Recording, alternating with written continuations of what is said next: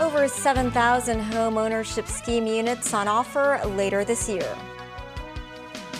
Foreign Minister Wang Yi meets White House National Security Advisor Jake Sullivan in Beijing.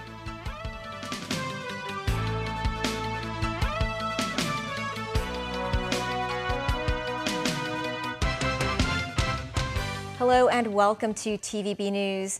The Housing Authority's Subsidized Housing Committee has decided on the pricing and arrangements for a new series of housing units under the home ownership scheme. Prices of the newest batch of flats will not fall despite the decline of the property market, with the discount rate decreasing from 38% of the market price to 30%. This as families with newborn babies and elderly people are given priority in choosing their preferred flats. Timothy Lee tells us more. More than 7,000 units at five housing estates will be on offer in the newest batch of flats available under the Home Ownership Scheme or HOS. Three of the housing estates are located in urban areas. They include a Kai Tak project located next to the Sung Wong Toi MTR station, which offers about 1,700 units with floor areas ranging from 186 to 450 square feet. Another 420 units will be available at this Kwun project, with sizes ranging from 290 to 500 square feet. In Yau Tong, residents could purchase units of between 380 and 470 square feet at this project. The other newly available flats are located in Tung Chung and Tuen Mun.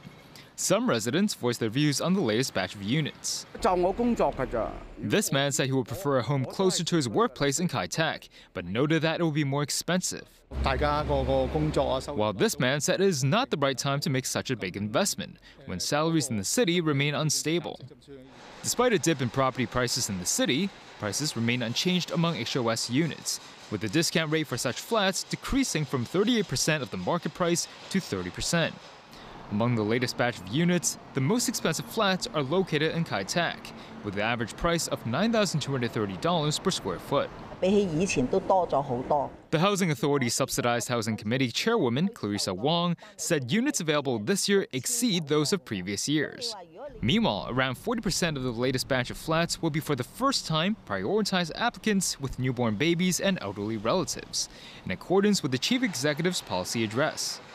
The housing units are expected to be open for applications in the fourth quarter of this year. Timothy Lee, TVB News. A nine member jury began deliberations on the case involving the Dragon Slaying Brigade bomb squad. The seven defendants were charged with conspiracy to commit bombing. They allegedly came up with a plot to plant two bombs in Wan Chai in December 2019. It was thwarted. High Court Judge Juliana Barnes explained the criminal elements of the charges.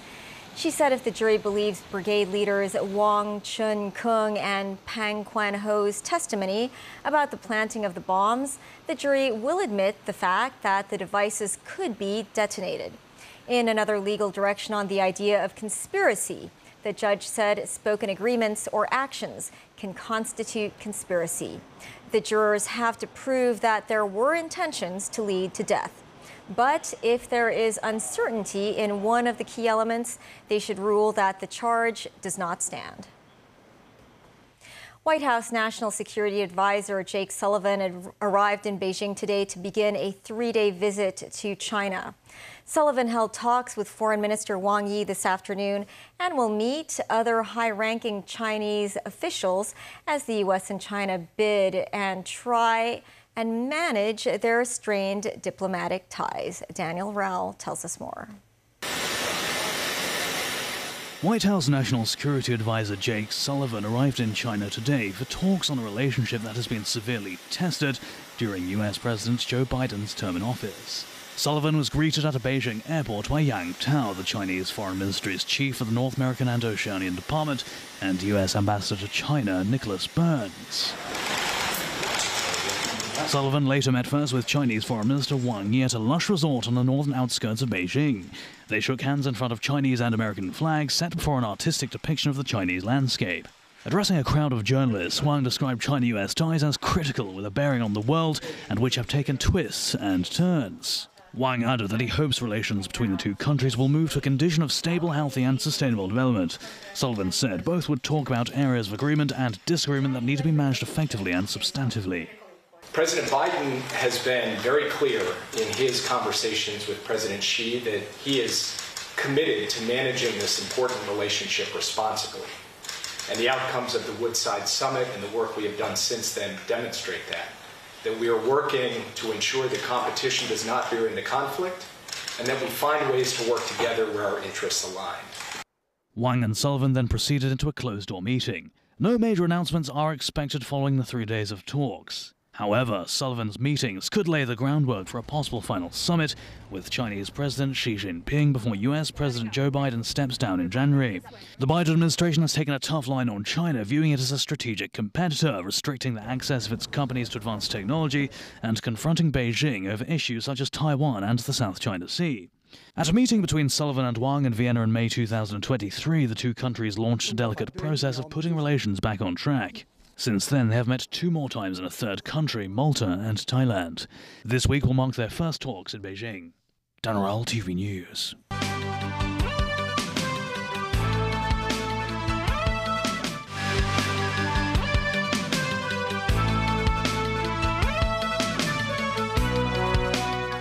In the city's latest reindustrialization effort, a nanotechnology production plant opened in Hong Kong. It sets sights not just on medical and textile goods, but also on Hong Kong made aerospace material. Jackie Lin took a look at the production line. Cheers! Reviving the Made in Hong Kong concept as this nanofiber production center of Nano Shields kicked into gear in Tseung Kwan O today. 高端产品 打入国际市场。 Secretary for Innovation, Technology and Industry Sun Dong said the endeavor showcased a brand new reindustrialization model of Hong Kong. That is to turn frontier research work right into production locally before companies scale up manufacturing in Greater Bay Area factories. Overall, the government will earmark $10 billion for accelerating advanced manufacturing of strategic industries, including life science and AI. Nanoshields was awarded $50 million under the government's reindustrialization funding scheme. With an annual output of 10 tons, the Hong Kong made nanofiber material is light, flexible, and breathable and can be made into high caliber filter, medical, beauty, and garment products. But pivoting to manufacture locally was not easy. It's a huge challenge there, huge. Nanotechnology is a very sensitive material, very sensitive. No matter one degree of temperature change or even 0.1% of the moisture, uh, uh, moisture change, that will impact and damage the material. Certainly, I mean, the uh, geopolitical tension has effect. But because of that, we need to invest more in technology and innovation and drive the economy forward in a different you know, along a different path instead of only relying on financial services, trading. Nanoshields partnering Czechia-based company noted Hong Kong's potential. Development with all the background of the universities in Hong Kong, I believe like there is a huge potential. Research partnership is also underway with former HKUST president Professor Wei Shyy on manufacturing aerospace-related material in Hong Kong. The bulk of the manufacturing process here is automated, including scanning and spinning. So all four production lines here only require six engineers to monitor and manage every day, cutting the manpower cost by almost half. Jackie Lin, TV News. The University of Hong Kong's Faculty of Medicine has introduced high focus ultrasound treatment for liver cancer. Some patients will not have to stay overnight in hospital after tumor removal procedures. The minimally invasive procedure is called histotripsy treatment. Under the sponsorship of Li Ka-shing Foundation, the devices purchased from the U.S. can create ultrasound that breaks down cancer cells in a liquefaction process without leaving any scars or wounds. Each treatment costs around 63,000 Hong Kong dollars. The process takes 10 minutes each time, treating tumors no larger than 5 centimeters in size. Li Ka-shing Foundation also subsidizes six doctors and radiologists from Queen Mary Hospital to be trained in the U.S. as well as 10 liver cancer patients, to undergo clinical trial with the device. Hong Kong U hopes the service can be extended to more patients at public hospitals. The Chinese University's Faculty of Medicine will receive another histotripsy device at the end of this year. That's the news. Thanks for watching. Bye for now.